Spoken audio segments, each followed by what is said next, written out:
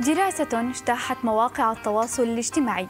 لعلماء قالوا إن أسماك القرش التي تتصرف بجنون ربما تتغذى على مخدر الكوكايين الذي يلقيه مهربو المخدرات قبالة سواحل فلوريدا.